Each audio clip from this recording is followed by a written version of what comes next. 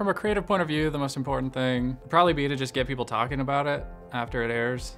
Yeah, I think we just wanted to surprise people. You know, Lil Wayne, Jeff Goldblum, George Washington.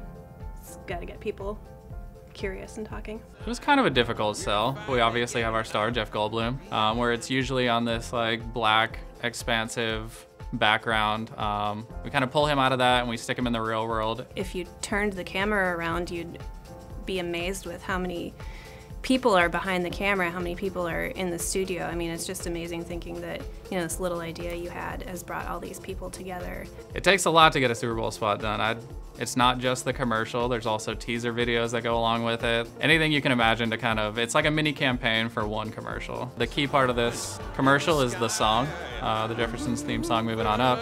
Gets stuck in your head. As soon as we wrote it, we couldn't stop singing it. We knew since it was a song and that every bit of the song had to be timed out perfectly. There wasn't any room for improvisation or error.